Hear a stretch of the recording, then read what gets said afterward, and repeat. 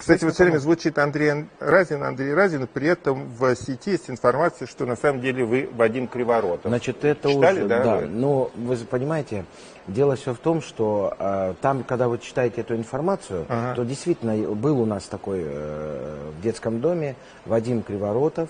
Э, 18 сентября он родился в 63 году. Так. И родился тоже в городе Ставрополе. И когда увидели в свидетельстве о рождении, что моя девичья фамилия моей матери была именно Криворотова, Так. то, а отец Разин, то э, средства массовой информации был такой журналист Филинов.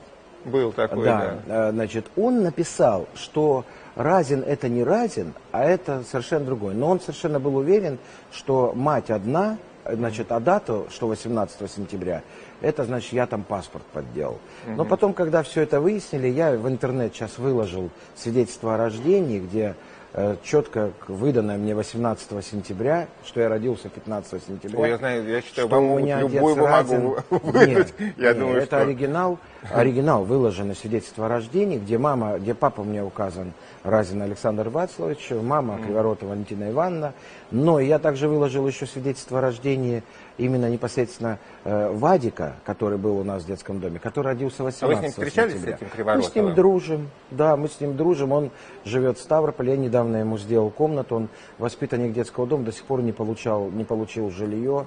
Вот, я ему сказал, ну ты уже мой брат, потому что Ну да. если в энциклопедии, в российской энциклопедии, э, политической энциклопедии, э, значит, написано, что я родился 18 сентября, и я настоящий Вадим. Я готов прослезиться. Да, я, я говорю, если ты уже мой брат кровный, если ты понимаешь, самое страшное, говорю, умру, а энциклопедия-то останется, и будут все думать, что это вот тот. Что написано пером, да, Да, мы с ним сфотографировались, опубликовали уже эту фотографию, но э, мы воспитывались вместе в детском доме, поэтому это считается одним из лучших моих А друзей. с Андреем поэтому Разиным вам приходилось встречаться? С пианистом. С пианистом, композитором, Композитором. Андреем Разиным. Вы да. знаете, э, с Андреем нет, не встречался, но... Ни, ни разу, да? Нет, ни разу. Ну, у меня такое ощущение, что вас ведь один раз э, на радиостанции, на радиостанции, да, допрашивали «Русское именно радио». как э, композитора. Да, я пришел на радиостанцию, и когда я говорю, давайте обсудим, какие вопросы, она говорит, не надо, я все знаю про вас и так далее. И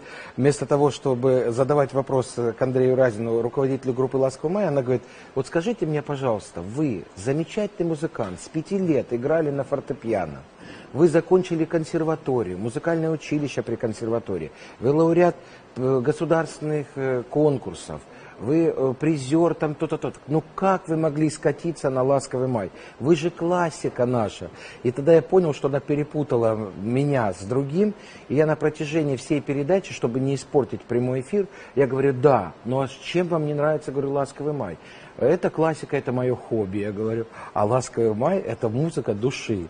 И вот мы спорили с ней целый час. После эфира я ей сказал, что я не тот Разин, э, вы имели в виду не то. Она, Она была, заплакала? Она была в ужасе, потому что все, что было у нее заготовлено, это было только связано с жизнью моего э, те- тезки. Не политкорректно, но без злого умысла. Иронично, но без сарказма. Пристрастно, но по-честному. Правда 24 и Евгений Додолев. С понедельника по четверг в 19.30 на телеканале Москва 24.